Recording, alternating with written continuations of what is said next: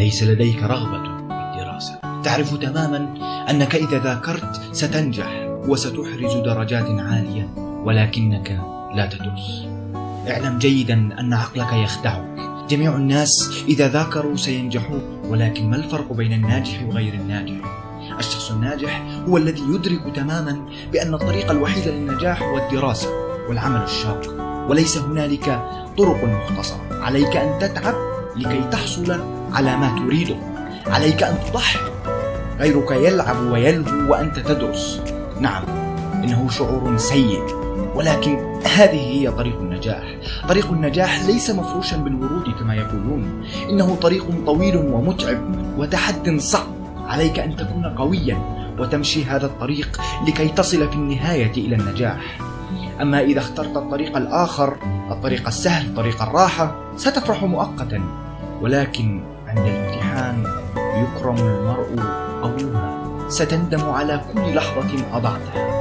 يا ليتني درست لا تنتظر أن تأتيك الرغبة في الدراسة لأنك إن بقيت هكذا لن تأتيك الرغبة والمزاج للدراسة أبدا ولن تدرس أبدا.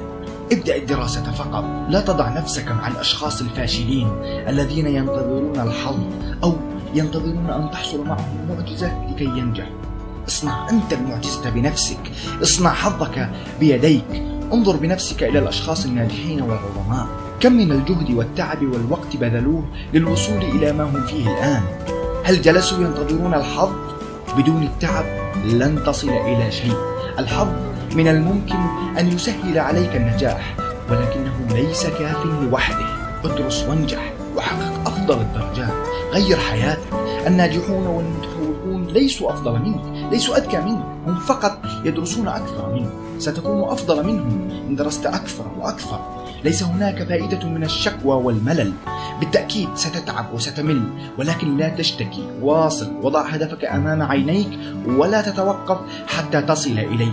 توقف عن الكسل والخمول توقف عن التأجيل. الكسل والتأجيل هو هروب أنت تتهرب من الدراسة أنت متوتر أنت خائف من الفشل تلهي نفسك بأشياء ليس لها أي داع ولكن هل أنت ضعيف؟ لا لست ضعيفا فلماذا إذا الهروب؟ لا تهرب قويا ادرس ذاكر لا تتوقف خذ قرارا تحكم في نفسك تحكم في وقتك تحكم في مشاعرك وفي رغباتك الدراسة هي كل ما عليك فعله فقط هي أولويتك الآن وكل شيء سيأتي وقته فيما بعد. ادرس واتعب وواصل. والنجاح هو النتيجة الحتمية للدراسة ولا نجاح بدون دراسة. لا تنسى عمل لايك والاشتراك في القناة وتفعيل زر الإشعارات ليصلكم كل جديد.